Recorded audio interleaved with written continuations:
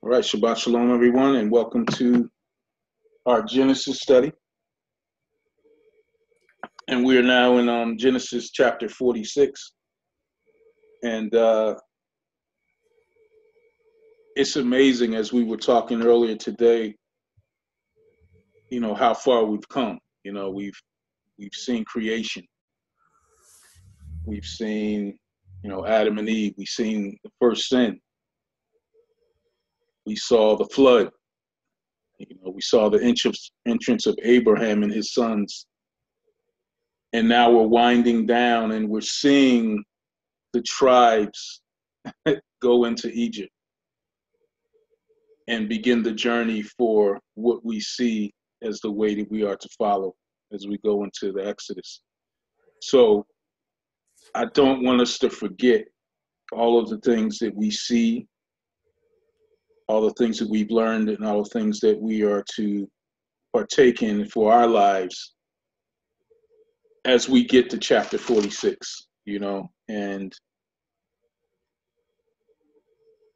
how amazing it is to watch this family become the nation, you know, and to not just enjoy reading it, but to look to seek what the Father has for us, you know, in understanding what He's saying to us through this family, through their actions, you know, even through their non-actions as we as we see, you know, on a regular basis as we read through. But we come out of chapter 45 and we see that Jacob finds out that his son Joseph is still alive. And all this time he thought he was dead, you know, and you know, how would we feel? We looked at last week. How would we feel at that point when we recognized or realized rather that a person we thought was gone, no longer on this earth, someone we mourned for, you know, was now yet still here, you know, and that he's now the governor, he's now the grand vizier of Egypt what that must have been like for him, you know. So so seeing through the eyes of Jacob on this journey now to go meet his son um, as he goes back to as he goes to Egypt. Um, so let's look at this. Um, let's go through. Let's read the first seven verses and who would like to start off? Our reading, chapter 46, the first seven verses. All right. Okay. JP. Uh, Rick has. Oh, Rick, I'm sorry. My brother Rick. You got me on next. You know what I mean? My hand was up before yours was. I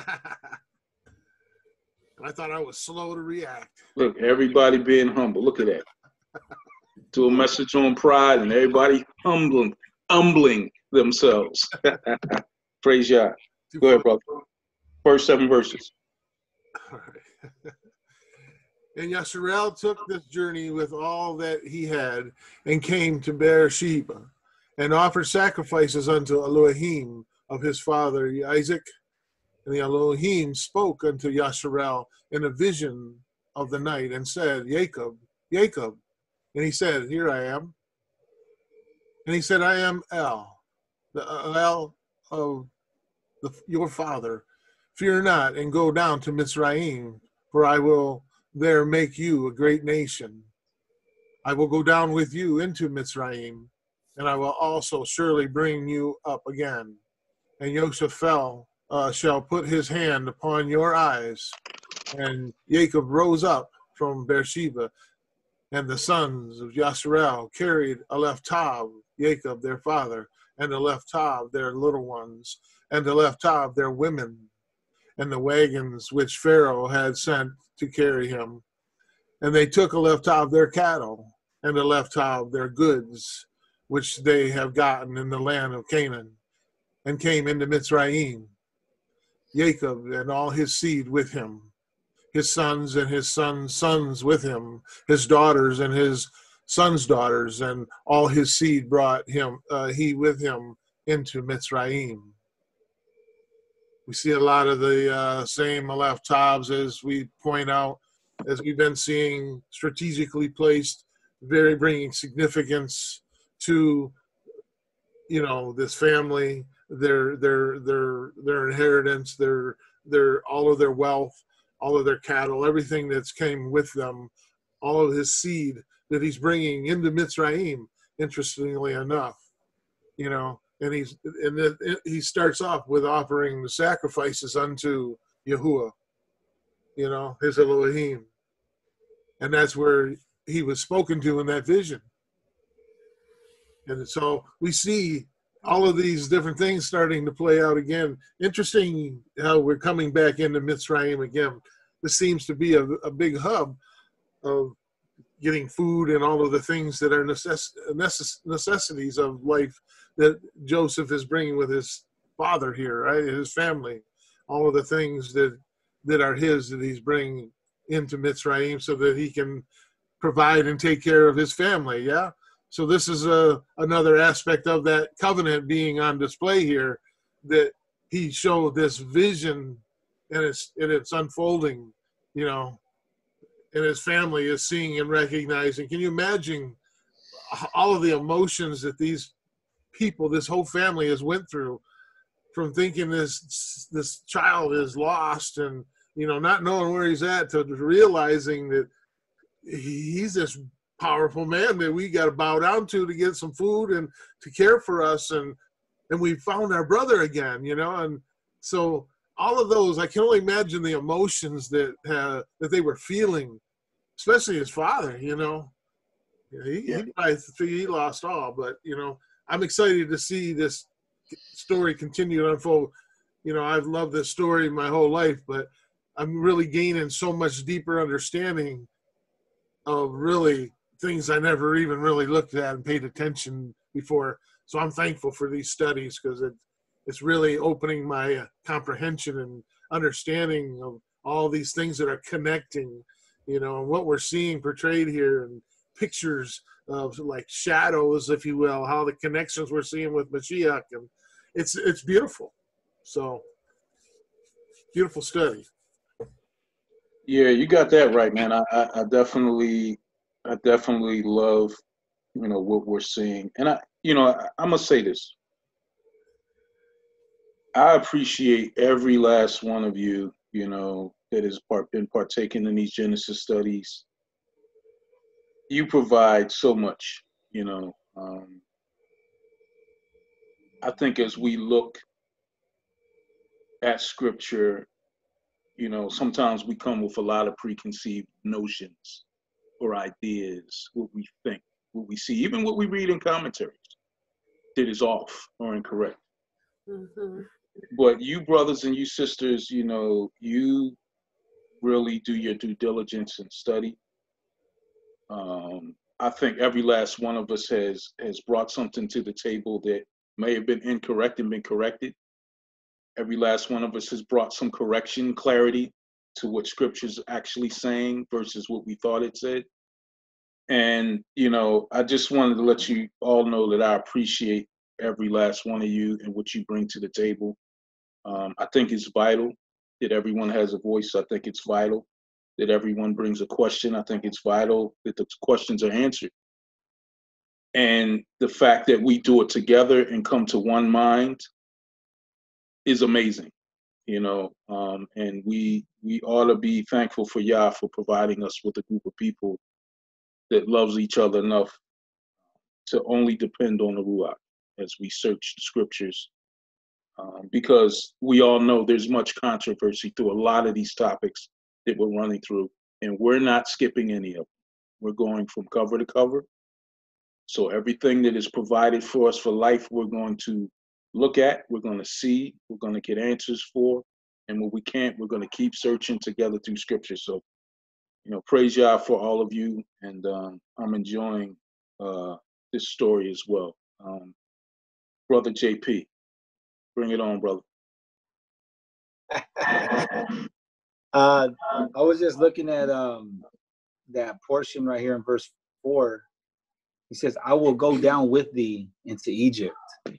And just that that it's like a covenant, you know, that he has with with us as his children as as his people. He says, I'll be with you, you know.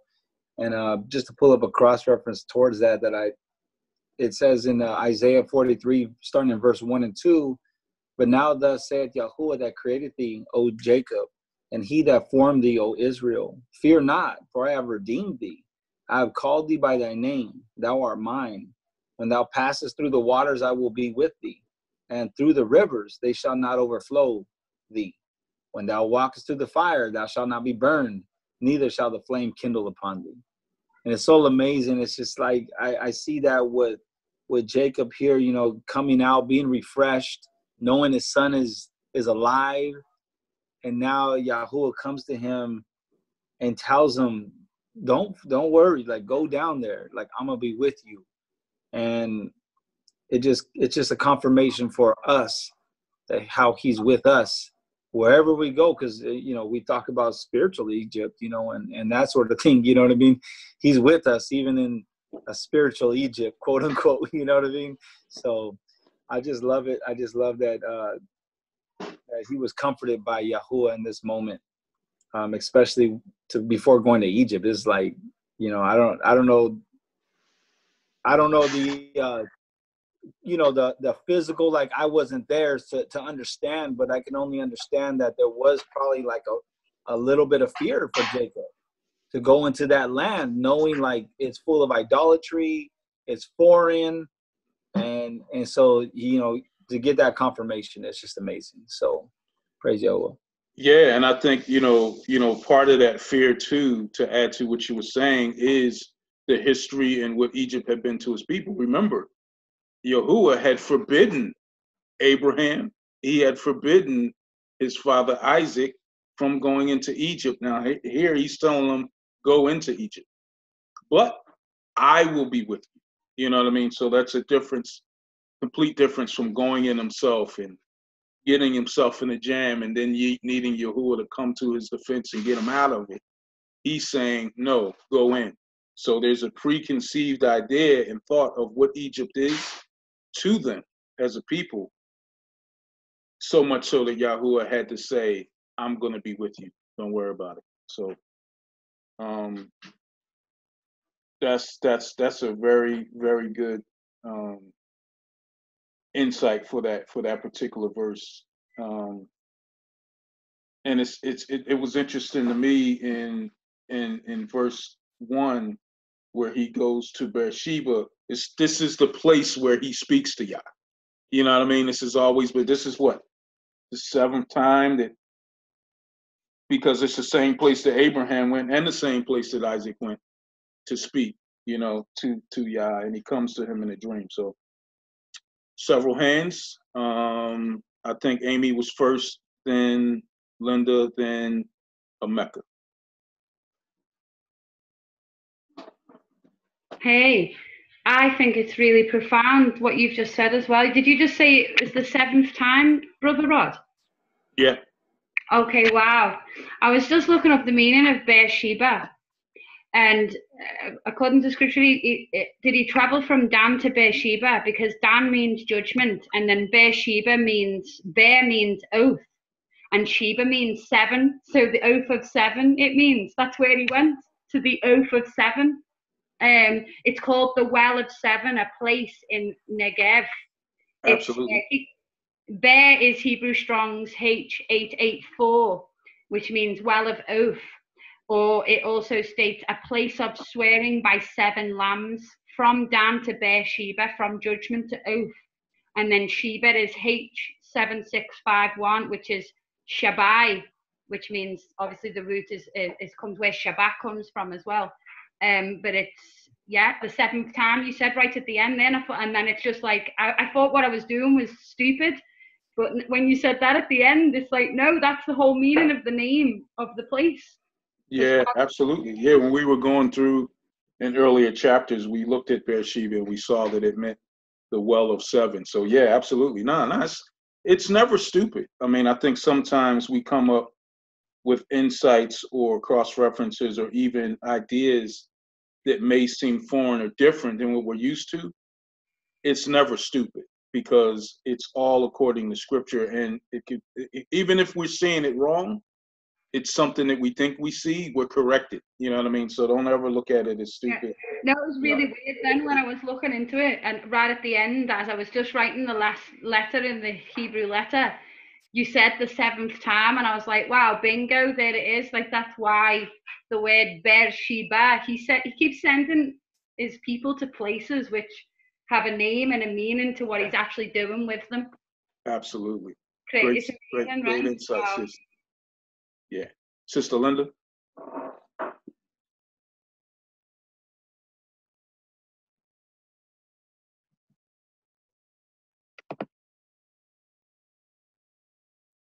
Okay. Um, I just wanted to just um, take note, uh, just make a little note to 46 and 2. I found this interesting. Uh, and Elohim spake unto Israel in the visions of the night and said, Jacob, Jacob. And he said, Here am I. Uh, because, uh, I was I found this surprising that he called him Jacob because in uh, chapter 32 he changed his name to to uh, Yasharal, Israel. Well, they say Israel now, but we know it was Yasharal in the uh, original um, language. You think there was a reason why he called him Jacob, or do you?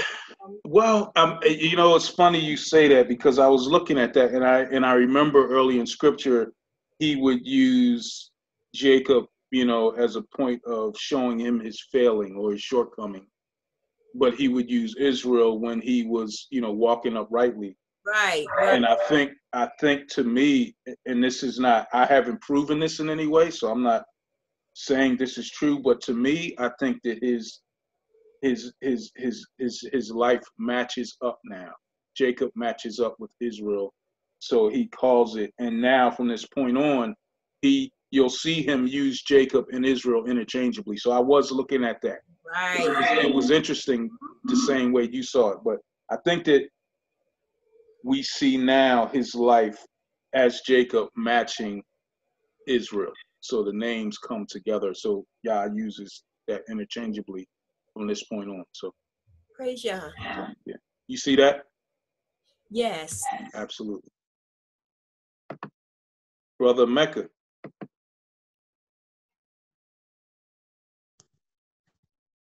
Yeah, I was just uh, JP had brought out, um, you know, Yah saying he will be with you in, in all those uh, you know, situations, you know, so that the, the, the sea, you know, will not overtake you, nor the rivers and, you know, the fire will not, you know, touch you or hurt you. And we, you know, we keep our eyes on Yah. You know, it's like, it reminded, me when he was saying that, it reminded me of when uh, Kepha was in the water and Yahusha was, was on, uh, you know, walking on the water and he he called Kepha out. You know, Kepha well Kepha asked if he could come out, and, and Yahusha told him, yeah, you know. And when he started to worry about the sea, you know, and the the waves and all that stuff, he took his eyes off of Yahusha and he began to sink. You know, and it's you know so important that we we remember to keep our eyes on Yah, you know, and, and to really to really know that you know he he's always with us and i think people kind of have a uh you know some people don't have a, a clear understanding of what that what that's like but when you think about it like yahusha was on the next level. Yahusha was always in the heads of people like yahusha was i mean he wasn't communicating with them like through telekinesis or anything like that you know but he was always reading their minds and their thoughts. You know, that's how dialed in Yahusha is to us, even to this day. So when we communicate with him, it's not that we, you know, we gotta take it to that that understanding. Like he's like I can communicate with him almost telepathically. You know, I'm not trying to sound like all mystical or any, you know, get like extra spiritual with. But at the end of the day, that's how Yah is. Yah Yah and he knows minds. He knows our thoughts. We even know some prayers. A lot of people prayed within themselves. You know, uh, there was a situation with uh, with uh, with uh, Hannah. You know, uh, who who brought out? I think this one of the sisters brought out uh, Samuel, the book of Samuel, and and Hannah prayed within within herself, and the priest didn't know what she prayed, but he said, you know, whatever you seek Yah for, you know, let it be granted to you.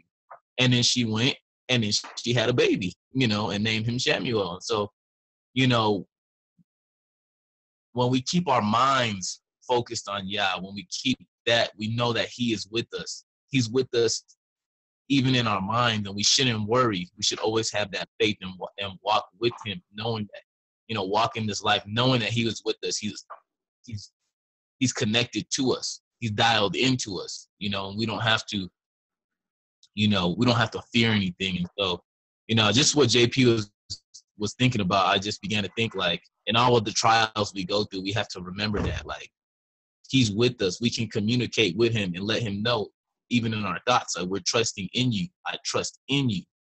You know, this is your promise. This was your word, and I trust your word and your promise. And so, um, yeah, I just wanted to say that just to what JP brought out. I thought that was that was, you know, um, thought that was a really nice connection. Yeah, I, I as well. But I wanted to look at something you just said. You know, you, you talked about how um, you likened the focus of of uh, of uh, Kepha. You know, when he took his focus off of Yahusha, he sank. When he looked at him, he stood on top of the water. Um, but before Yah says he's with him, look what happens prior to that. So he's not going to be with you if you're if you're not postured first towards him, right? He's not just with you. He's with those that are postured towards him. It says, so Israel took his journey with all that he had and came to Beersheba and offered sacrifices. He offered sacrifices. He is consecrating his family before Yah to Yah before they go on this journey to Egypt. And that is what Yah is, is, is, is, is, is honoring. You know, he's seeing that this man is dedicated to the, the Elohim of Abraham, Isaac, and now him. Right? So so I just wanted to point that out that he that he honors those who dedicate themselves to him, who sacrifice themselves to him. So that goes along with your point. Um, so I just wanted Praise to yeah. see that full picture of, of that in that verse. So, um, JP. I just want to get uh, any thoughts on um, verse 4 when it says, And Joseph shall put his hand upon thine eyes.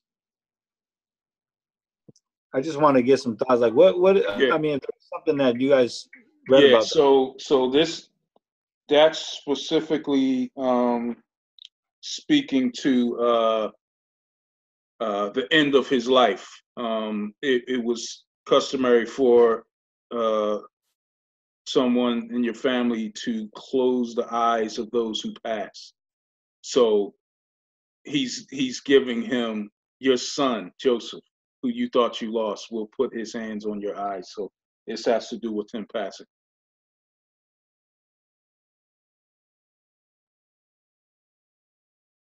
What else we see there?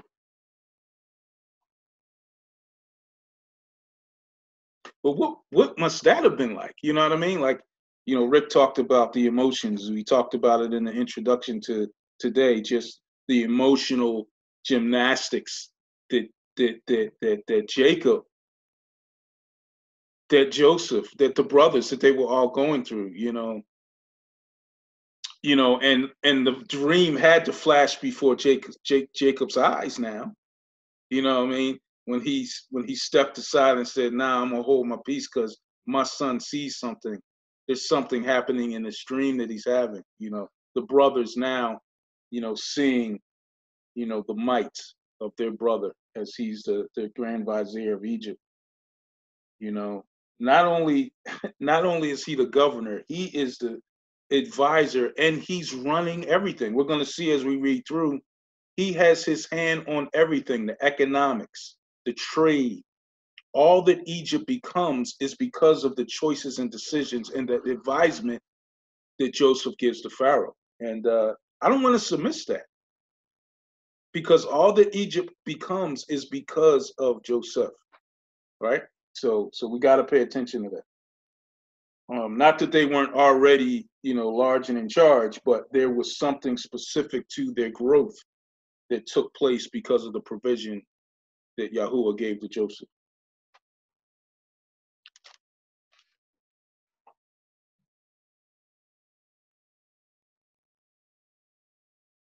All right, so we're in um we left off in verse. We see anything else in those first seven verses? All right, so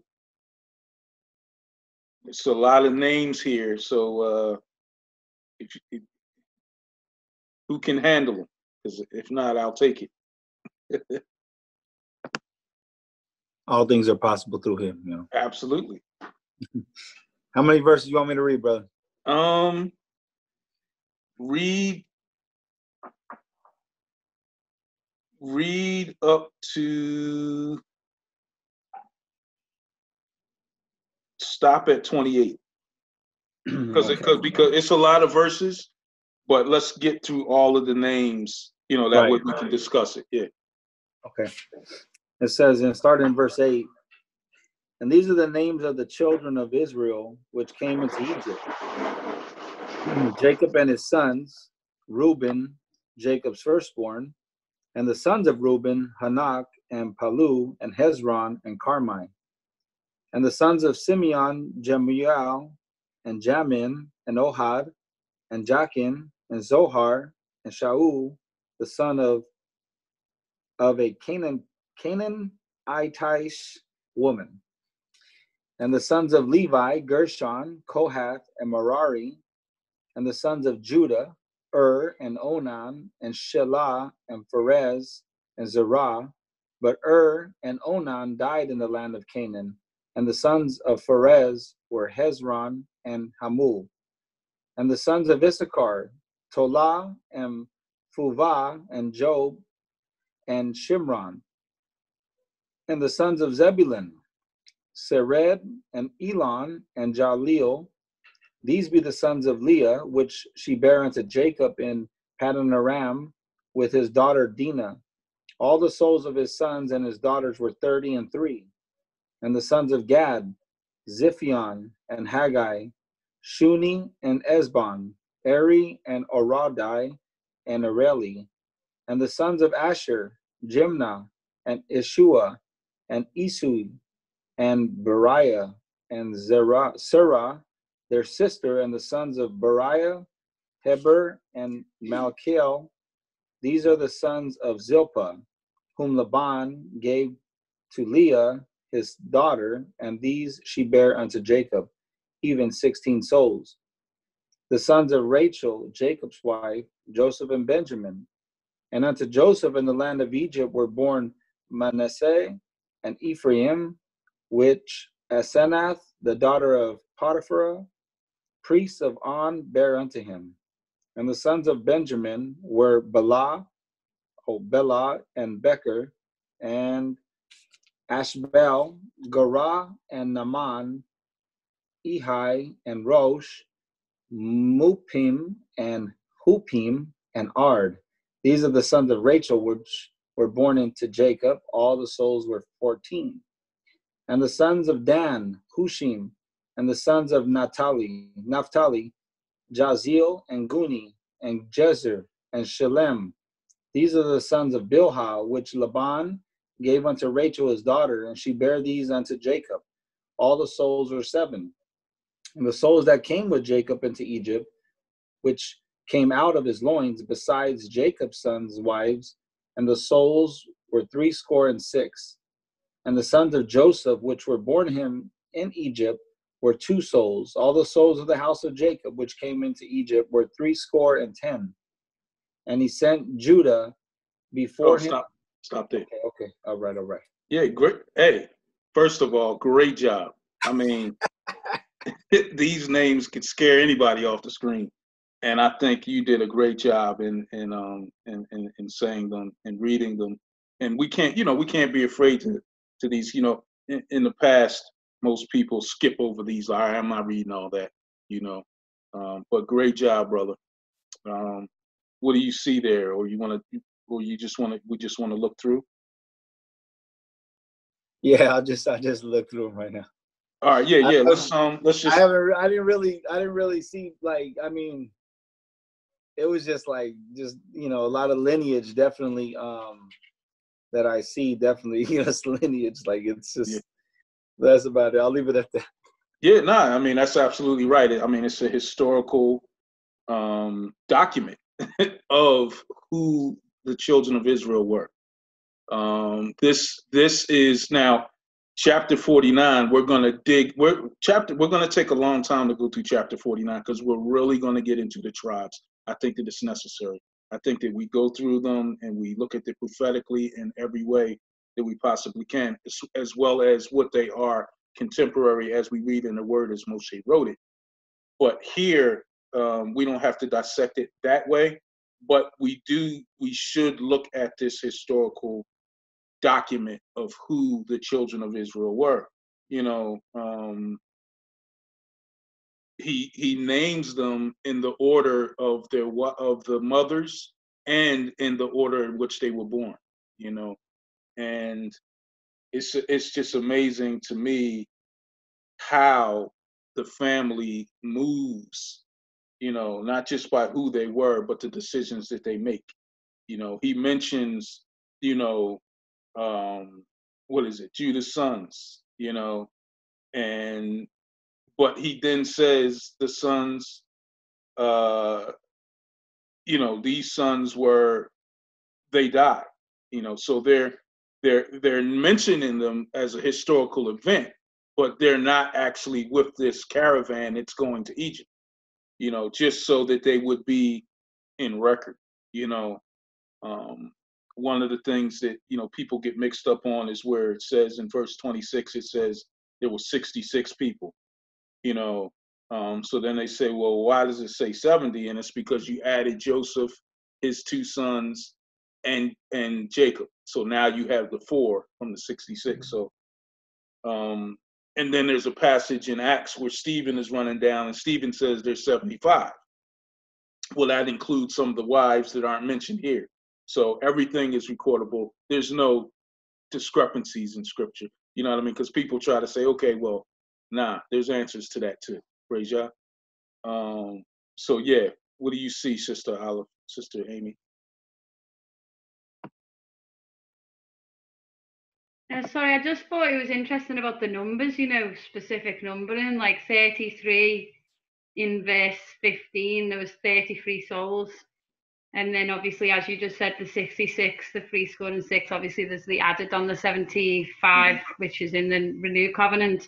I just never think there's a coincidence in regards to the numbers. I mean, I don't know the 33, was Messiah 33 as well, apparently, or is that like a myth?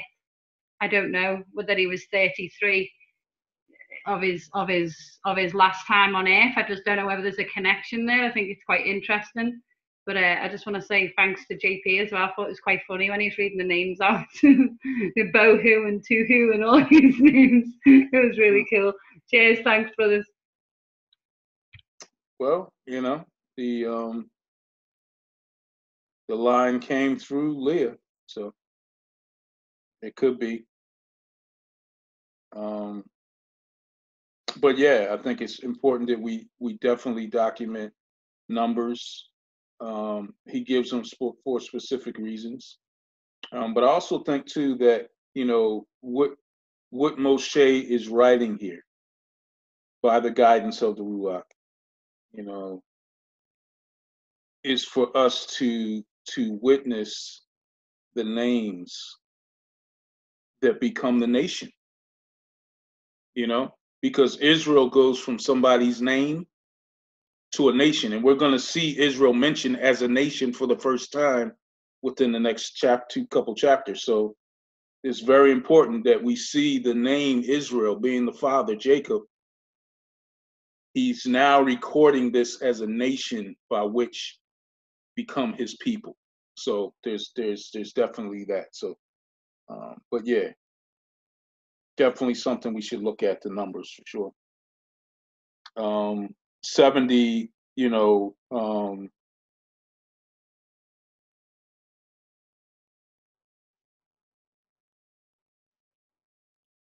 I think 70 was a was a token at that time for the ancient Israelites um, as a point of his of, of Yah's blessings. Um, but I want to look more into that as well.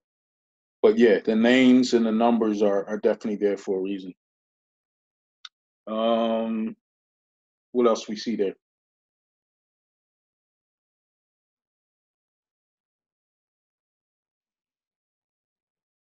Amy has her hand up again.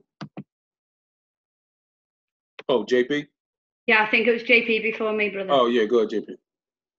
Uh, just to bring up, you know, um, just to bring up Joseph's wife. You know, I, I, know I, I don't know if we spoke about her before, but you know, her being an, an Egyptian, and and it clearly, you know, they give you the description of who she is in verse twenty, that um, her father Potiphar, Potiphar, priest of On, bare unto him, and so just that it's interesting, you know, just that Joseph, because we were talking before about um, just the, the significance of Ephraim and Manasseh um, or the tribe of Joseph in the end times, and, and then the two sticks, and, and Ephraim being one of them, and Judah being one of them, and just you know the just the lineage portion of of that, and just seeing how how Joseph, because he's in this land, he marries a, a woman in, from that land who's an Egyptian, thus makes her a pagan, I guess you would call it. You know what I'm saying? Something that's against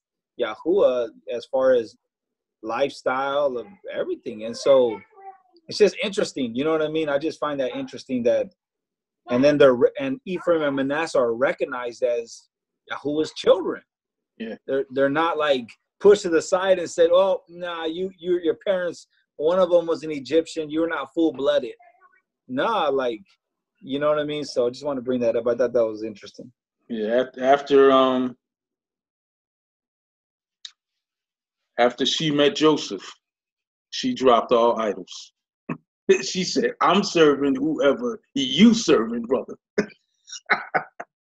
Joseph was a bad man. So praise Yah. Yeah, nah, the whole house, you know, started serving Yah. Even Pharaoh, um, at this time, you know, you know, because we're gonna see later, you know, Pharaoh usually does the blessing. He was the God in the land, but but we find out later that Jacob came and Jacob grips him up and blesses him.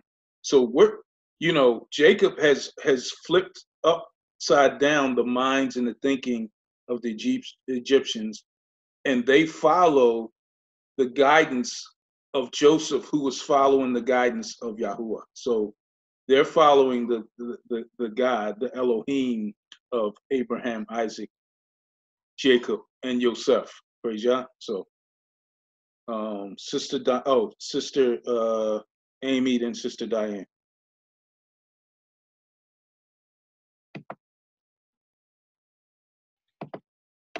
Sorry. Sorry, it's because I'm studying on a Hebrew site, so it just found it interesting as well that the, for the name. I, I was going to say it'd be it'd be cool to look into each each of the names back into the into the original language to see what definition brings. I haven't. I had a look at Judah, which is quite interesting, just the one of them, and that shows obviously a, a picture of an arm, a nail, a door, and a man with his arms raised, which when you take it into the pictograph, it basically means arm joined to the door of breath or joined to the door released. That's just for Judah, though, which I find that quite interesting because we know Mashiach is the arm of Yahuah. Yeah, Described in scripture, yeah. and he was from the tribe of Judah. So yeah, it'd be cool to look at you know the names Ephraim and Manasseh as well at um at that and even the name of Joseph's wife, Asenath, it'd be good to look at what her name is in the Hebrew to get the definition of. She was obviously chosen by Yahuah to be the mother of Manasseh and Ephraim. All right, well, go, go ahead. What, what, what, is, what does her name mean? It's an oh, Egyptian I don't know name. at this. I don't know at this time. I'll have to look into it. I'd, I could have a look. It might, yeah, it's, might, it's, it's an Egyptian name, but you, you, can definitely see. Yeah, check that I'll out. I'll have a look in the Hebrew and see what what it is. Yeah, let us know. Thanks. Sister Diane.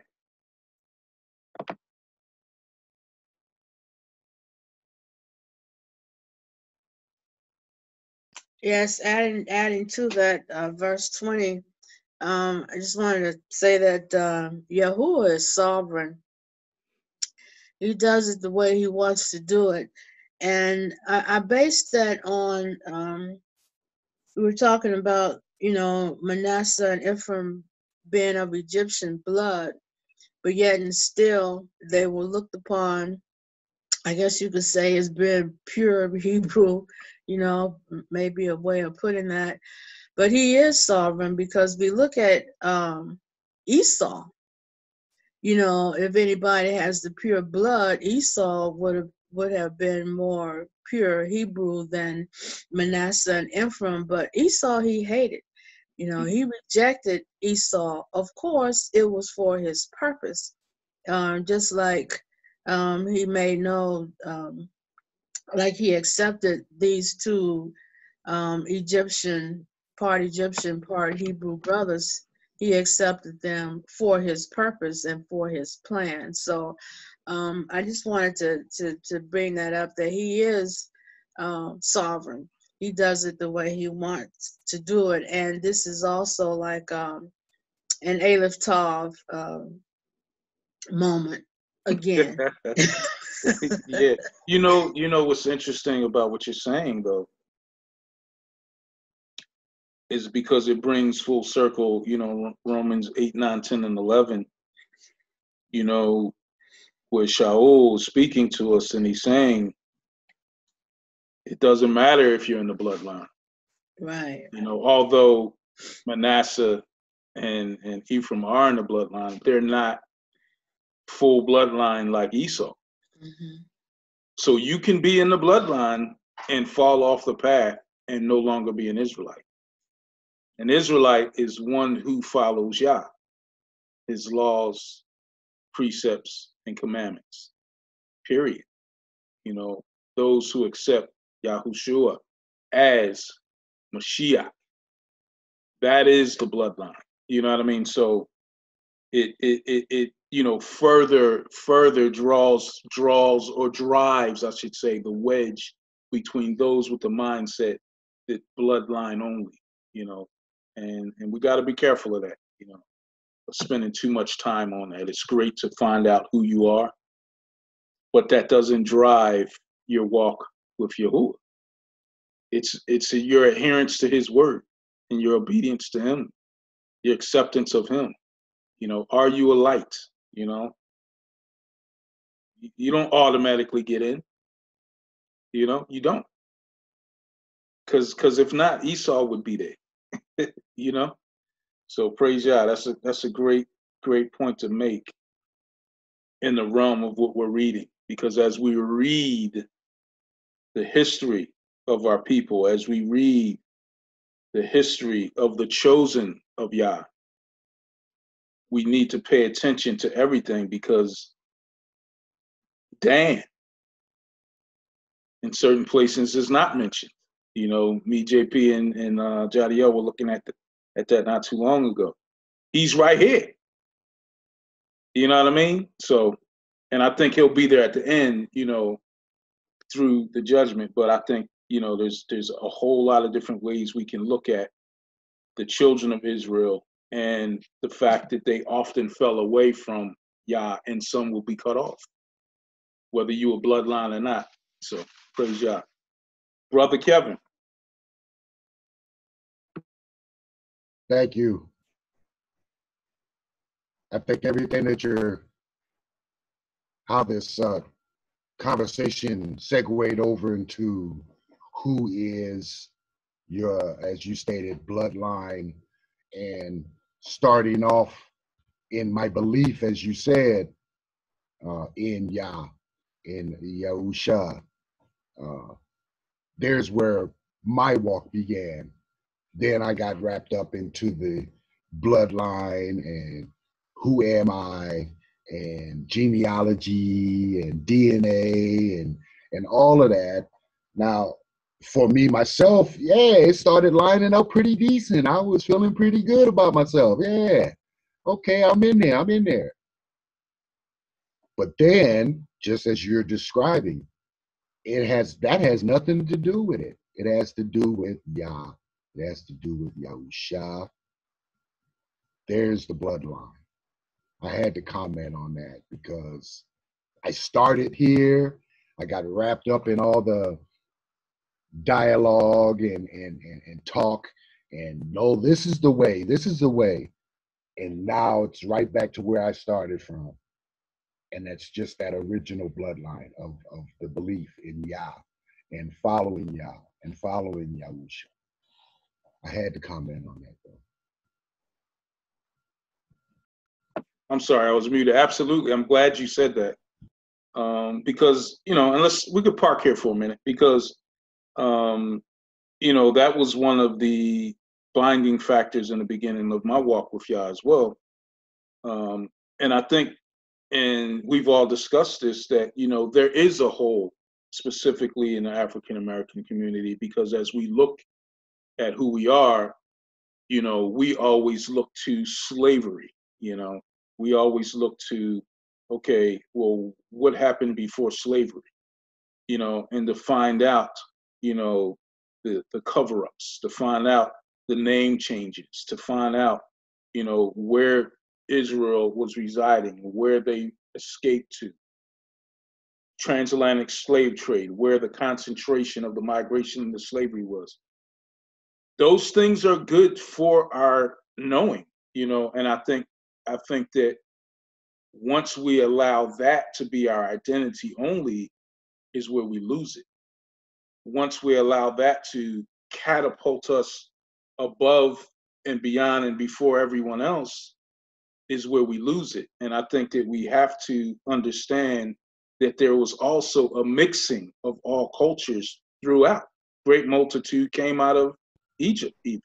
You know, so in the in the mingling and the mixing all throughout history also plays a part in that. So there are Israelites, true bloodline Israelites of every culture, and to use that as a as a as a bragging point uh, exactly. to to demean, to uh, lord over, to diminish anyone else other than the fact that those who follow him are his only is a big mistake and I think that you know that um, you know coming to the true reality of that and understanding who we are means something.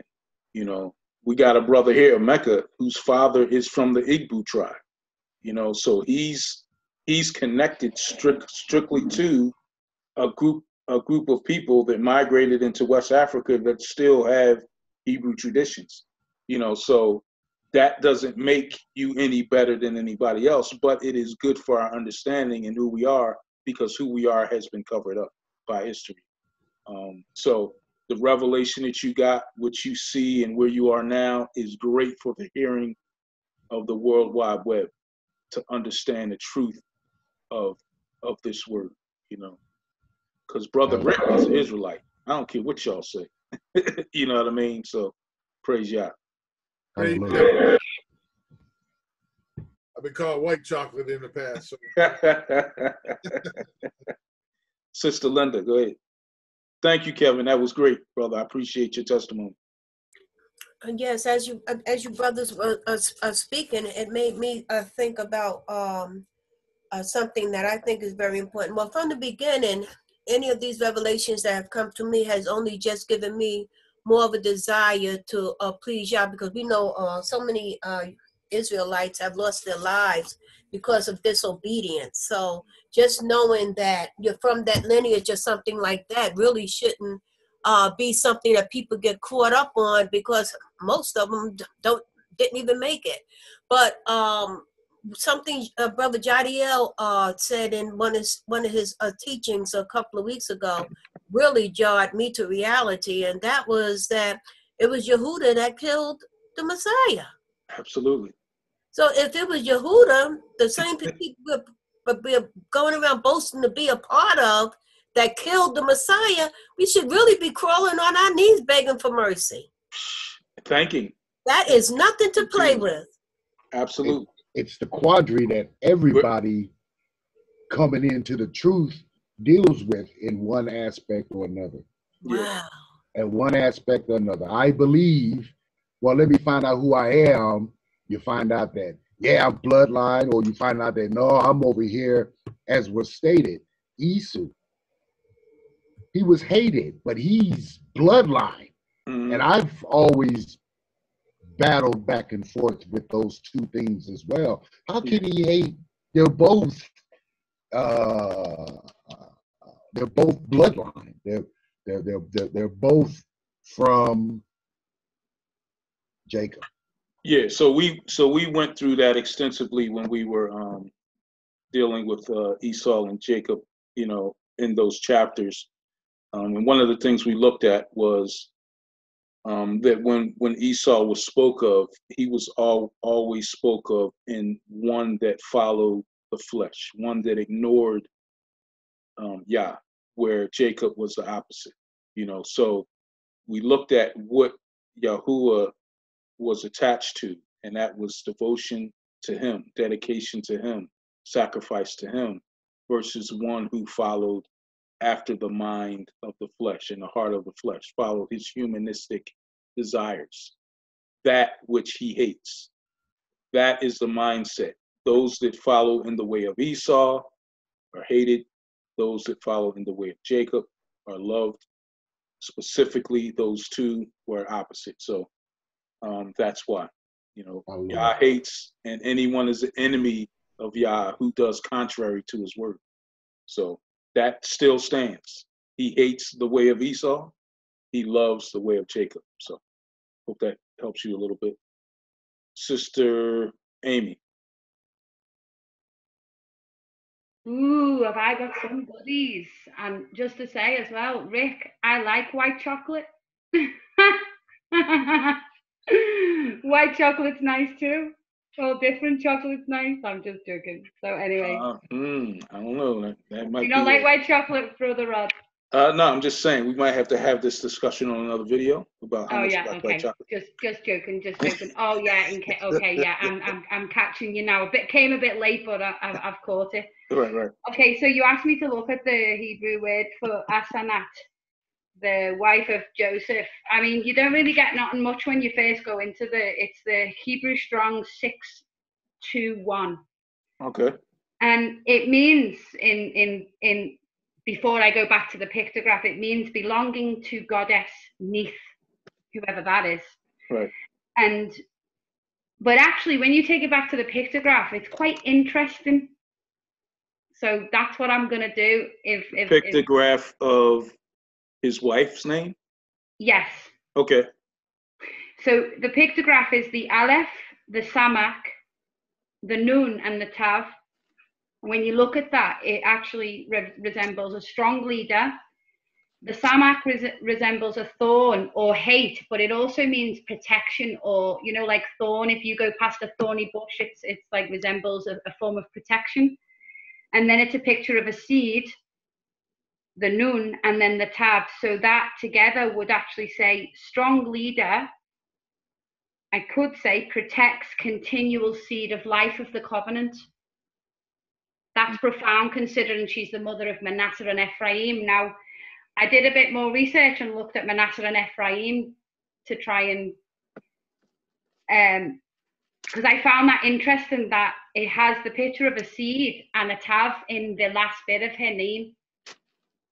So it, it, seed means continual life, and the mark, the cross, is the is the mark of the covenant, which is is is is kind of like a signature. Um, and then if you look at the word in Hebrew for Manasseh, um, you get Mem Nun Shin Hey, and it's Hebrew Strong's 4519.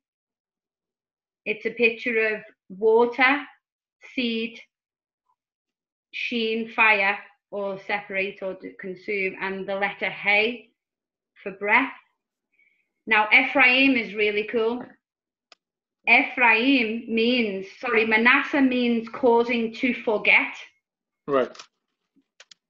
and Ephraim means double fruit. Now, this is the focus because this is powerful. Double fruit. Now, when you take his name back to the pictograph and the Hebrew, the ancient tongue, the word is aparim. Aparim. Inside that name, you have pe, aleph, pei, resh, yad, mem the pei, rash, and yad is actually the word that we use for fruit of the spirit.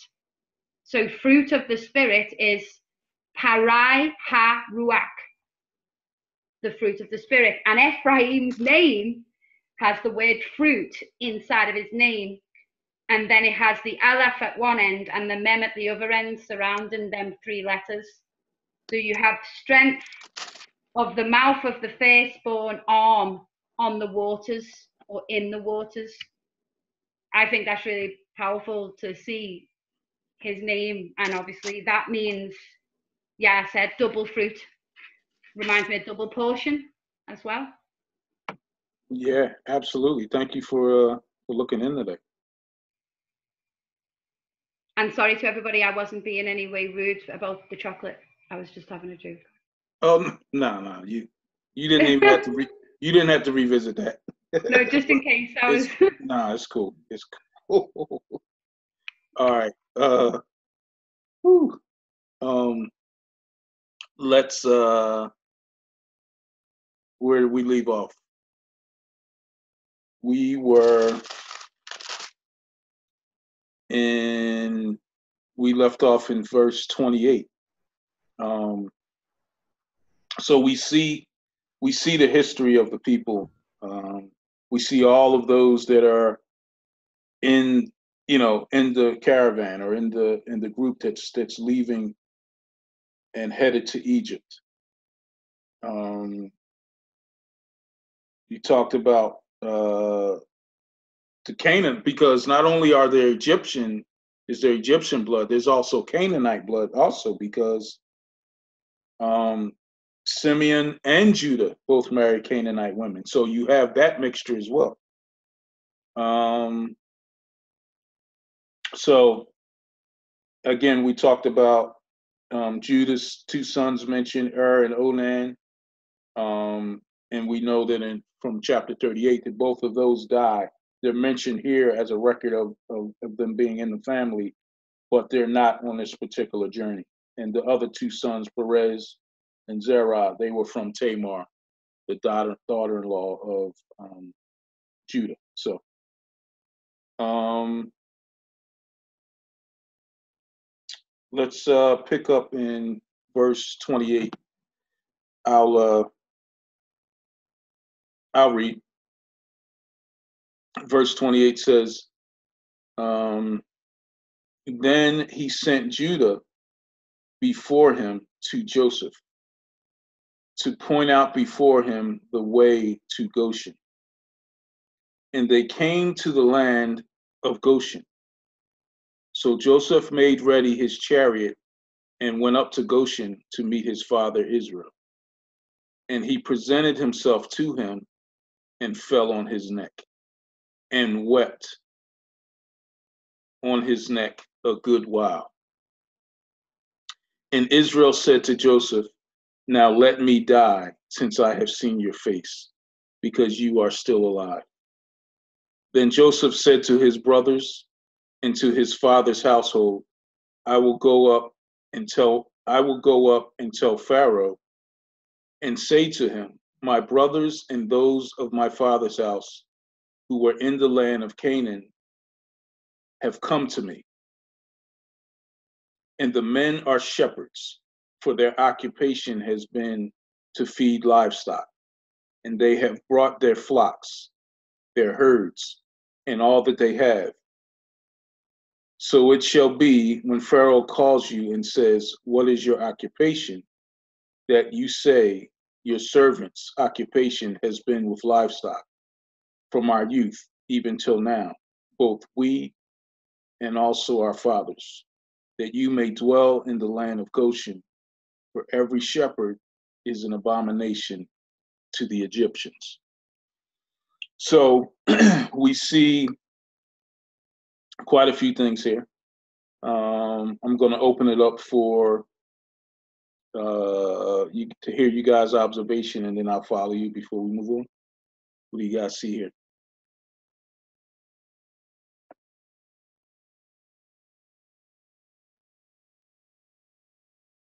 Anyone?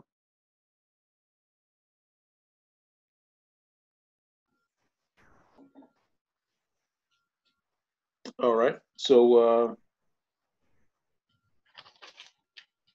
in verse um,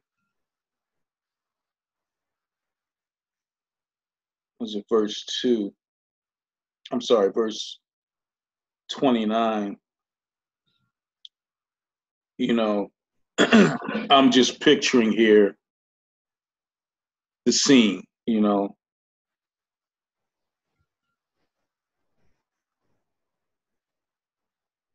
Of the of Joseph and his father seeing each other for the first time after all these years.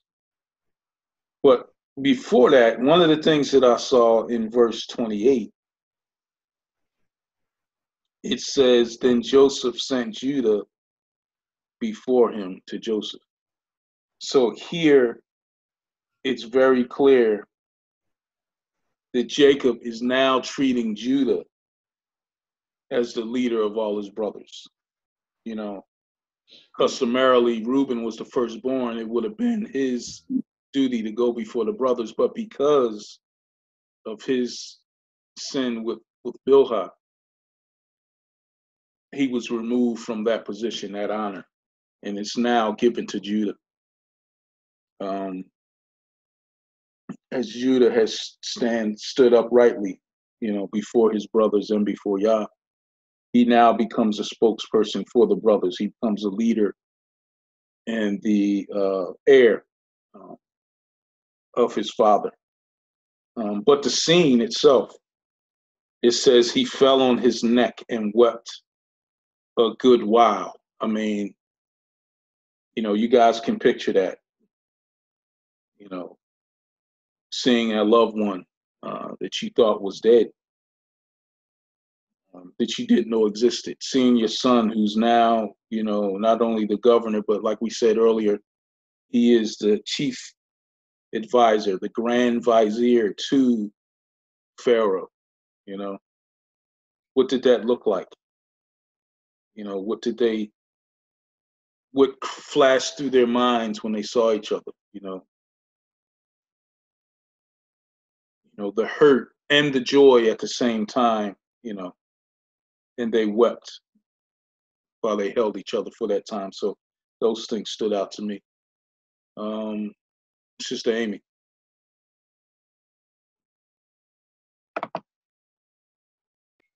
Oh, no, brother, that was from um, before, but I was just going to say I found it interesting the last verse in verse 34 where it says, For every shepherd is an abomination unto the Egyptians. I thought that was quite interesting, that uh, last verse in verse 34. Yeah. I thought that was really, um, I didn't know Egyptians hated shepherds or yeah, so abomination even.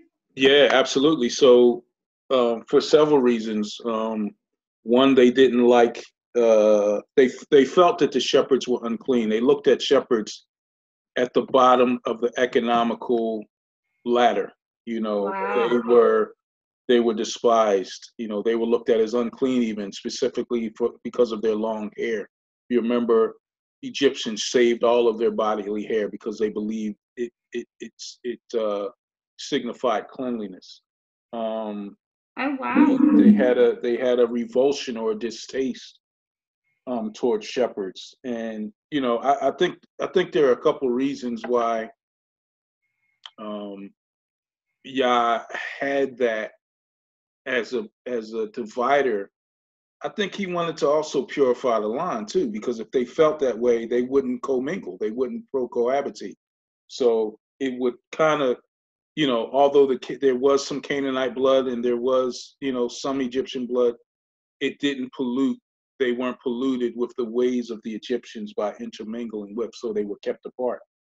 Some of the, you know, um, you know, I, I told you guys before that I went my first date with my wife, you know, 20 years ago, 30 years ago, well, 25 years ago, was, you know, we went to the archaeological museum at um, University of Pennsylvania, uh, Ivy League school in Philadelphia, and you know, although I didn't see all of the artifacts because I was looking at her most of the time, I did see some, and one of the ones uh, that I remember is, you know, artifacts of Egyptian culture, um, and the, the the you know some of the pictures in the books when the Egyptians spoke of shepherds, they often drew pictures of one eye, or they had shepherds with one leg, or they were you know despised. They didn't they didn't um, you know see them some sometimes as people. They called them dogs, so they did not commingle or cohabitate. So they were respected by Pharaoh simply because they were the family of Joseph. So see how even Yah's provision over his people, even in that situation. So um, that's specifically why Joseph carved out that land and asked Pharaoh to give them that portion of, land. So, but also that land of Goshen um, would have been uh, surrounded by water as well. So it would help with their livestock and the way that they lived their lives. So um, that's that's what that verse is referring to. Um, I, at. I, I also think it's interesting that it says about the, the shepherd being an abomination because later on throughout scripture we see that King Dude David was a shepherd, Mashiach was a shepherd. so it's not just here. We see it's kind of interesting. Um, it, it kind of makes me wonder what what kind of mindset the Pharisees or the people who killed Mashiach as the, as the shepherds. He says that the, the shepherd will be struck and the sheep shall scatter. It kind of, you know, the Father used the people's own heart were able to be used by him to, to do his, you know, the bidding of the killing of Mashiach. It's Yeah, but of, they were they were they were abomination in the sight of the Egyptians. They weren't an abomination in the sight of Yahuah. So I no, mean, yeah, yeah. I mean, I mean, I mean, the Pharisees didn't like the shepherd either, did they? This is what I'm trying to identify, like the traits of mentality. Even though you could say you were, they could say that they were like Yahudim or whatever. Their heart and their mind said otherwise because they hate, they hated the chosen shepherd as well. I'm just seeing if there's a connection. That's all. Hmm. I'm just wondering because it says, you know, that there was an abomination to them, and I'm thinking, well, because Messiah speaks to the Pharisees and says, "You were sent as shepherds to you, they were sent to shepherd the people and to be of the vineyard, but instead they made their own vineyards and killed the shepherds that were sent onto the people. And now the son's been sent from the kingdom, and you're going to kill him as well. So I just, I'm just kind of seeing the if there's a if the if they had kind of their hearts was lifted up as the Egyptians, because the Egyptians were quite proud people. yeah, I Um, don't, I don't, I don't. I mean, it could quite possibly be, um, but you know, this is in direct reference. That that what you what we read as far as abomination is a direct reference of what was customarily customarily the, the thought process of the Egyptians. Um, Mhm. Genesis forty three thirty two says, "So they set him a place by himself, and them by themselves, and the Egyptians who ate with him by themselves, because the Egyptians could not eat food with the Hebrews, for it was an abomination to all the Egyptians." So this Oh, was something in their culture. This this this uh, you know, I mean, I guess down the line we could try to draw that conclusion, but I think I think it's very important too that we don't miss, you know, because we do know that Joseph had parallels to Mashiach. Um, but what we don't want to miss is what is happening here specifically, because that's the first meaning, that's the first understanding. What we see here, what is going on here, and how we can relate that to what's happening to the Israelites. I think ultimately it has a bigger picture as we look to seek it, but at this moment, it's referring to the way the Egyptians feel about um, the Hebrews. So um, definitely want to keep that in mind. But yeah, there there could be a connection with um, the way that Yahusha is received. You know, by the people, by his own, by J- Yahudim, you know, by Yahuda. Um, Sister Diane, and then Brother Kevin.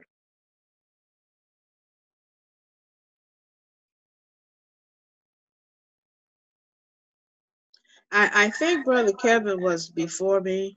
Okay, Uh, thank you. you could, you could go ahead, because mine is a different, it, it segues off of what's been said, but to keep in line with the conversation, please, Diane. Okay, Mine is a segue of sorts too, brother. Um, I just wanted to make a couple of comments um, in terms of the favoritism and the blessings that Israel has received and that Joseph is receiving from the Pharaoh. One being that um, he was given the land of Goshen. And if we look at that um, geographically and agriculturally, Goshen was a, a very large and a very rich um, in soil land. Um, it was very, it was very fertile. Um, so I thought that uh, this was an, an excellent case of uh, them receiving Yahuah's blessing. I don't think Joseph asked for Goshen. I believe that it was actually given to him um, by Pharaoh. Um, I think Pharaoh just told him that you all can dwell in the land of Goshen. So um, may have to go back and check that out for sure.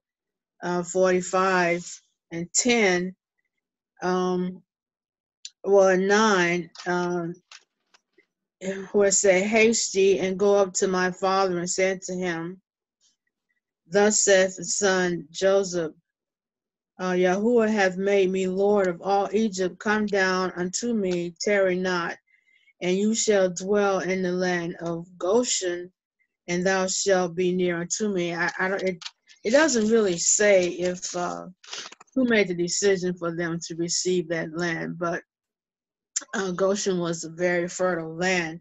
The other point I wanted to make was in terms of uh, the abomination, not only their hair um, being an abomination, as Brother Rob was saying, for the Egyptians, um, that was nasty per se because it was very unclean, um, according to them. Also, if I'm not if I'm not mistaken, the Egyptians idolized cattle. Um, cattle was um, a god for them. If you go back and look at some of the um, archaeological history, you can see there was uh, Kafir, Kafir, um, was the name of a cattle god. So Hmm. uh, to eat the flesh of cattle was also an abomination. Um, Cathor, I think, was the name of the um, cattle god. So it was also an abomination for them. So to know that to know that the Israelites ate oxen, which is which are cows, you know, and sheep, um, it was repulsive. So I just wanted to bring that out um, as well. Well, I mean, the, the Egyptians had cattle too. That's that's matter of fact. He asked Joseph later on. He says, "If you have men, take care of my cattle as well, because you Mhm. basically because you'll do a better job." So I don't know that they didn't eat um, livestock, but Okay. uh, they definitely despised the shepherd. They definitely despised um, the Hebrews as a people for sure. Per- Perhaps that that God, uh, was kind of like you know, um, and and it, it was an idol in terms of them worshiping the cattle for prosperity of their cattle, which of course it goes against all of Yah- uh, Yahuah's um, teachings. But you know they had many gods, so maybe that's what that was all about. The the cattle was worshipped so that they would uh, prosper um, and be fruitful, which we know is an abomination. Right. Thank you. Yep. Um, thank you, sis.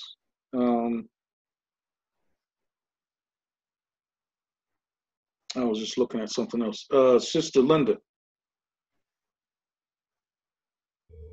Can you hear me? Yes.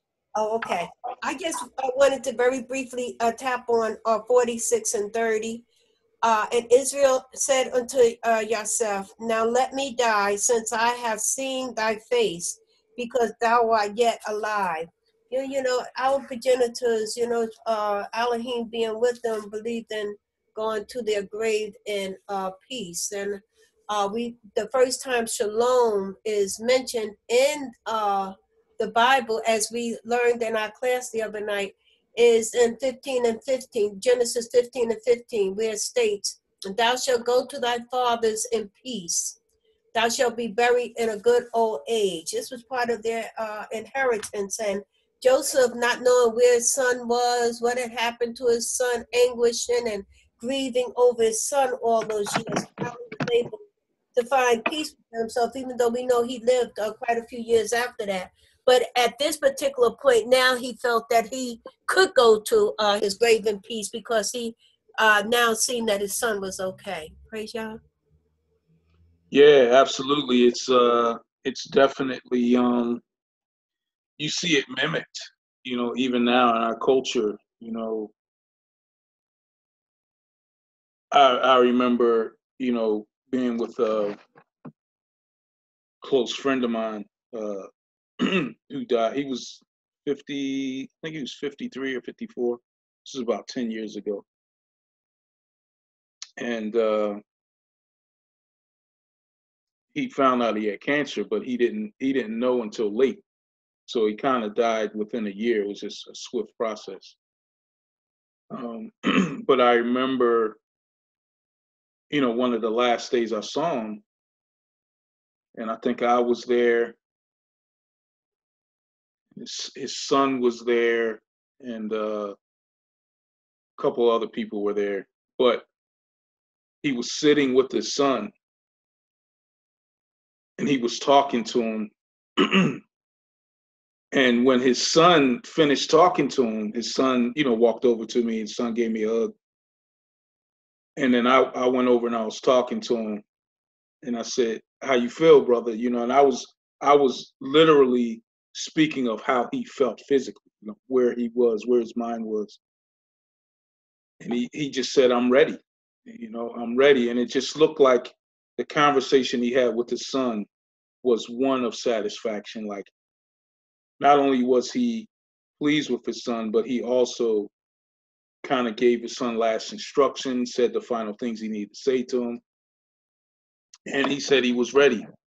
And I just remember, you know, when I left, I was like, you know, I told him, I said, well, I'll see, I'll see you tomorrow, you know. And, you know, I wasn't even connecting the idea of him being ready and him sitting with his son, but he didn't make it through the night. So I didn't re- realize until that next day that he's seen all that he needed to see. You know what I mean? And uh, you know, he was a believer as well. So it was uh it was something that I thought about when I when I read that particular verse. Um, so Sister Linda, I think you're on point with their eyes meeting.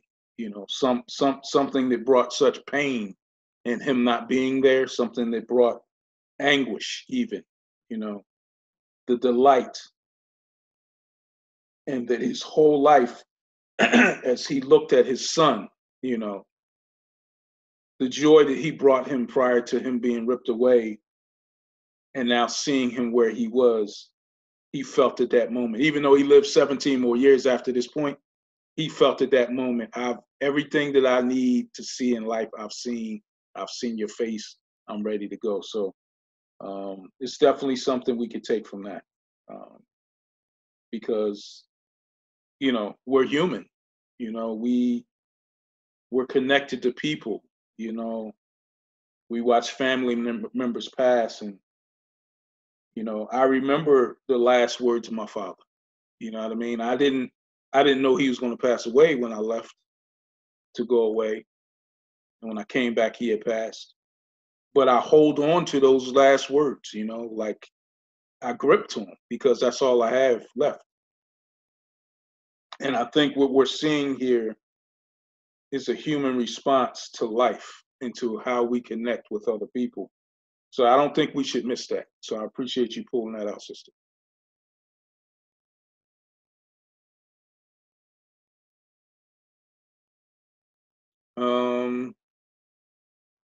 Sister Amy.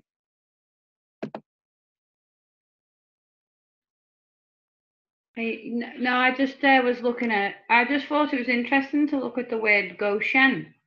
Um, the meaning in Hebrew means drawing near, and that's Hebrew Strong's one six five seven. It's the Gamal, the Sheen, and the Nun. Um, I thought that's interesting. Means to draw near, or drawing near. Yeah. But what what took place there? Did he meet again with Yahuah, or did something take place? Did he draw Well, near to Yahuah there? Did he draw That's the near? land. That's the land where they resided. That's where where they took all their cattle. So they didn't go into. They were in the countryside of Egypt. They had a specific place carved out for them, and it was a place with you know, like uh, Sister Diane brought out, rich in soil. Um, the Nile River was there. if you remember, the Nile is where Moshe's mother put him. You know, Yeah. to go into Egypt. So it So it, did- it, it was a it was an area that was rich um, and close to Egypt. So could But did Joseph did Joseph uh, draw nearer to the father there as well? I don't I don't I don't I- see that.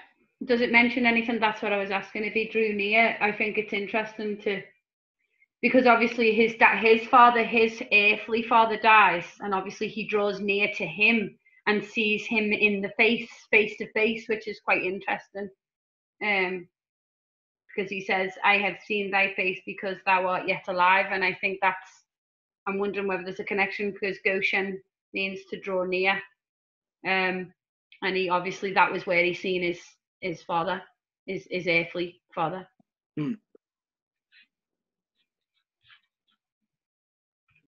I can honestly say I didn't see that.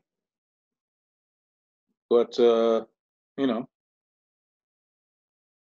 we have meanings of words for a reason. And we will continue to look at that, Sister Amy. Appreciate it. Brother Kevin, and then Sister Diane.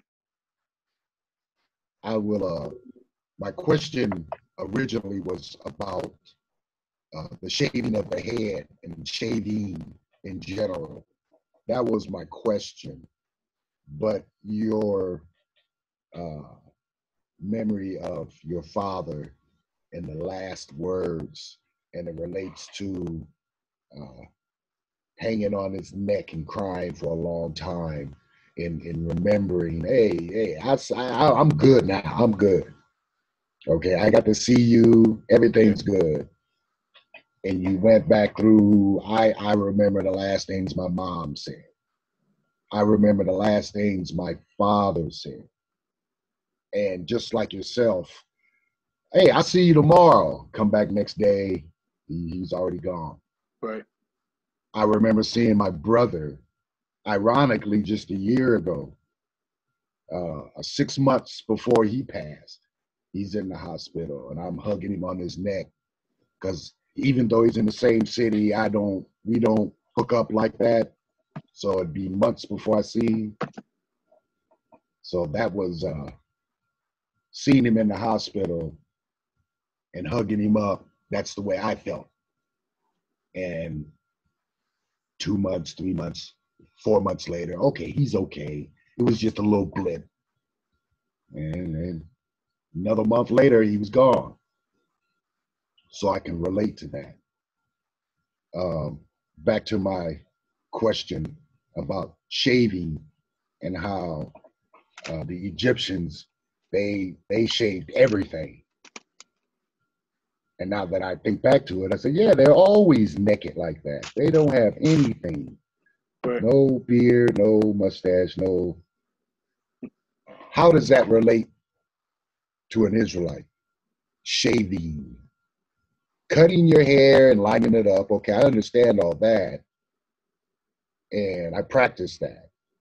But shaving, you know, uh, razor to the skin, taking it all off. Can you can you uh, touch base with that? Yeah, I mean, I think um, I think there's something to say about specifically the Egyptian culture when it came to the way they shave their hair, um, because they did still have facial hair. You know, they had um, beards that were rounded. Uh, if you remember the on their chin, they had the long post of hair, and it was rounded. And in in Torah, tells us not to round our beards in that same way. So when it comes to you know our direction by Yahuah in Torah of what not to do with our hair, it's re, it's relating to those that worshiped other gods in the way that they had their hair. So it's very important to keep that in mind. Not to say that you can't shave your head off, your hair, or your beard, um, but it's okay to grow too. You know what I mean? There's a specific way in which he's speaking of when he talks about shaving in the realm of what their culture that surrounded them. Remember, they were coming out of Egypt. He was telling them what not to do, and a lot of what he was telling them what not to do was relating to those things in the in the area in which they grew up in. They grew up in Egypt. They saw these things. He didn't want them doing that. So, um, specifically with the Egyptians, they shaved their hair off um, versus the shepherds who grew their hair. you know, so um, right. That, that's what that um, is Well, referring to. you could you could look at my background picture and you can see I'm shaved around and I used to have the long straight down from the chin. I used to have that. That's where everybody knew me as Okay. years back. I, that's all I had was that long Egyptian beard. One dude said, "Yeah, like the beatnik cat daddy." I was like, "Okay, I, I, I can go with that." I, You going back with that one, Cat Daddy? That's right. yeah. But I wanted to know that because of my own uh, hygiene issue, where it's like after a while, hey, I got to shave all this off because the the skin underneath is, you know, it's holding dirt or Yeah. I'm not cleaning well enough. So hey, I got to take it all off and then start again. So I asked that. And you gave me a good answer for sure. Yeah, yeah. I, I think it's it's definitely you know it's a necessary to read scripture in its full context because if we don't and we just look at certain verses, then we wind up doing something that Yah didn't tell us to do, or not doing something that Yah told us to do. You know, so um, and we're you know one of the exciting things about coming to the end of Genesis, we get ready to go on Exodus. You know, so we're going to go through the laws, statutes, and commandments, and we're going to go through. And JP knows we're going to dissect these things. You know, we're not going to leave any stone unturned. There's going to be no questions asked, and those questions that we still have, you know, we'll find together. So, um, yeah, hold on, brothers and sisters. We we we we- we're about to really dig deep now as we about- near the end of uh of of the beginning. This is the the end of the beginning of the story, right? So, um, Sister Diane. Yeah, just to keep this one short, um, back to Goshen, I too, um, like Sister Amy, wondered about, you know, why Goshen is mentioned. Uh, it could easily have read, uh, they received the fertile land, I don't know, east of Egypt or, you know, uh, southwest of wherever, but it actually mentions the name, which will make one look at that in terms of why Goshen, uh, she, uh, why they're calling that name. It also mentions uh, like drawing near. You know, when you're when you're looking at the um, the paleo of drawing near, uh, we know that uh, Joseph was a great administrator. You know, the, the guy was good at what he did. Uh, he was a diplomat. He was a businessman. He had favor of the people. So um, this could be sort of related to that paleo of drawing near because he had the favoritism of um, Pharaoh. You know, he, he he was close to Pharaoh. They basically had drawn um, near to um, one another, and and and is also that favoritism, like in drawing near to Yahuah. You know, Yahuah gives us um, the best, you know, of everything. He said, "Draw near to me, and I will draw near to you."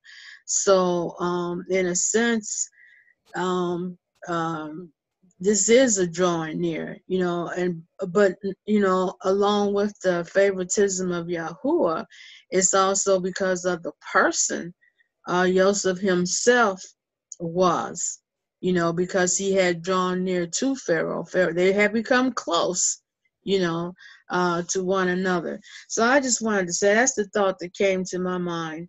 Um, because like, why is Goshen? Why why is it important to mention the word Goshen when so many times we read east of this or west of this or on the other side of that or whatever this name is actually called out? So there is significance to that you know more so than just a place. Well, I mean, I, I, I, think, you know, there may be something to the name drawing there but it, I mean, it's mentioned, I think, specifically because it, it's the place where they were dwelling. Because it, you know, it doesn't really say, um, I mean, it does, I, I, I do, I do know exactly what you mean as far as, you know, some places in scripture where it says east of Goshen or east of Egypt or, you know, um, but this specific land, because one of the things I said earlier, I think what you questioned was Joseph asking for Goshen. So I thought we were going to make it into chapter 47. I was going to bring that back to you, but we're not going to make it into 47 this week. We don't have enough time. So, but we'll see in chapter 47, Joseph is asking for Goshen through his father and his brothers. okay So so he tells them what to say, Mhm. and then they go ask. So, And then yeah. Pharaoh comes back and he says, send them to Goshen, which he wanted to in the first place. But I think there's significance to the fact that he wanted them near, but yet not within, because there was still there was still some separation from what was going on in Egypt. Um, I think part of it was to keep the bloodline. I'm not saying Joseph wanted the bloodline pure. I think Yahuah did.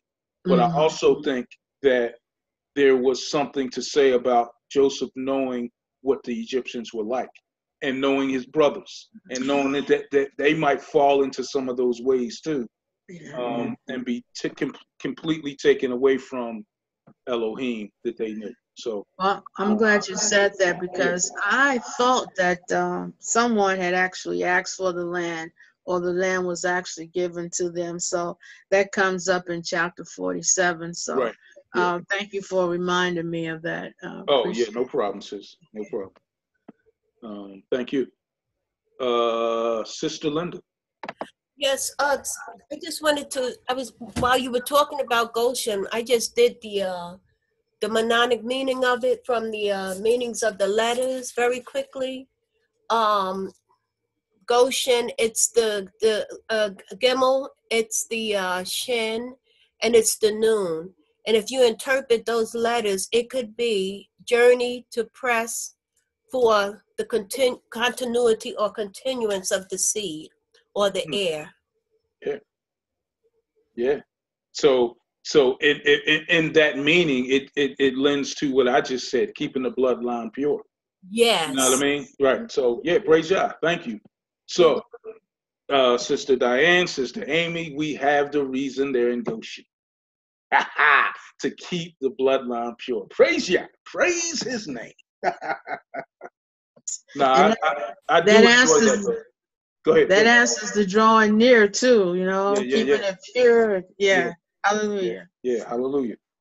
Praise God. You know, and it's um see what I mean? This is what I'm talking about. This is learning Yah's word together, you know. Um here you two sisters were saying Amy thought she saw something. Diane thought that something was to what Amy said. I said what I thought it was. And then Sister Linda, you know, does the letters and it brings both of our understandings to one meaning. You see that? So the Ruach moves through when we allow him to, to, to let us not keep our mouth shut, but at the same time, be respectful to our brothers and sisters' ideas and see what scripture only says. And that's what we do here. So praise God for that. And that's what I mean. This is how we do it, and we'll continue to. What would you do without us? All right. Without him. Without him. Praise God. See how I did that? See how I did that? Um, but uh um man, this chapter is is really something, you know. Um we looked at uh, you know the, the the whole idea of of why they are where they are, you know, and just the provision that Joseph was making. One of the things I liked what Sister Diane just said was how she ran down the attributes of Joseph and all of the things he was known for and all of the things he was proficient in, because it helps, you know, the understanding of the direction that Egypt goes through, through his provision, through his mind, you know. Brother JP.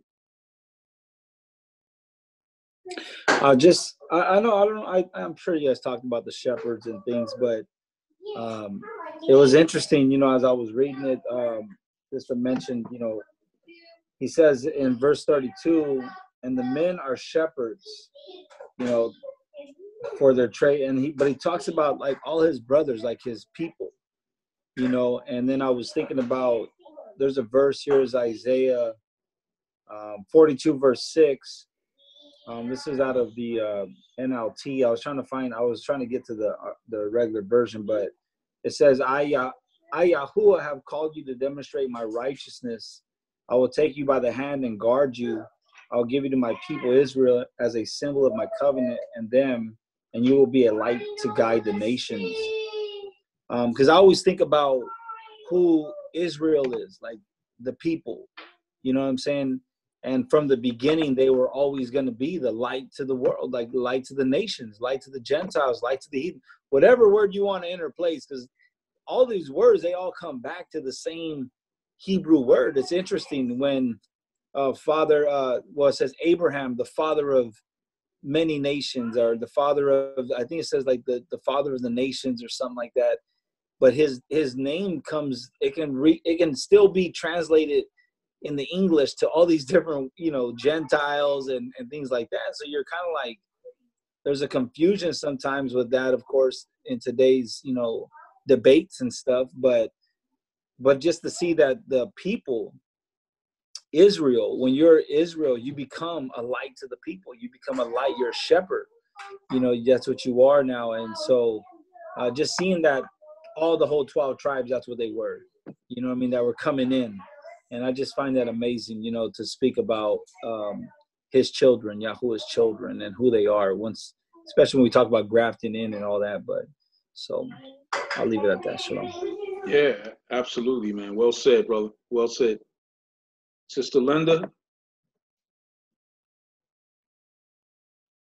And, and, and brother Rick, very quickly, just to uh, I, I don't want to be redundant, but I just want to clarify to just to take it to the next level to really bring it home because I was rushing. But when I look back at it, listen to this journey to eat for the con- continuity or uh, continuance of the heir.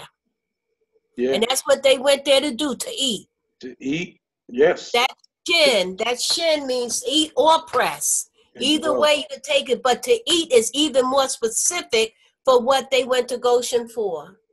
You know, because one of the things that's interesting, and, and we're going to see it next week when we go to 47, is that, you know, the, the all of the Egypt. So, so the way um, I really like what Sister Diane said because it, it goes into what we were going to touch on in 47, in that Joseph's provision, the way he set things up, remembering the dream, knowing what he needed to do to sustain the whole world at this point through this famine that they were going into. And what's interesting is that we're going to see the Egyptians selling everything they had. They're selling their gold and their silver. You know, when they ran out of gold and silver, they started selling their their their livestock. When they ran out of their livestock, they started selling their land and all of the things to to make Egypt even bigger and then to watch how the, those that were in Goshen never had to sell anything because Joseph made provision for them. So um, praise Yah. So, all right, I think that pretty much uh, concludes this study. Um, so we're going to close this out. This concludes our Genesis chapter 46 study. Genesis 47 next week. Shabbat Shalom. Shalom, Akuti, and Brohim. Thank you so much for viewing this video. We hope it was helpful to your walk in the truth. Remember to always search the scriptures on your own, to study Abba's word and show yourself approved according to 2 Timothy 2:15. We invite you to study with us. To join us in a live study, just go to our website at assemblyofyahuah.com and click the Join Us tab. We have something available Wednesday through Saturday of every week. If you've been Baruch or blessed by this video today or any other study, we encourage you to go to the Giving tab on our website. Our elders all have their own ways of income, so none of the giving or proceeds go to them. Instead, it goes to biblical assembly needs.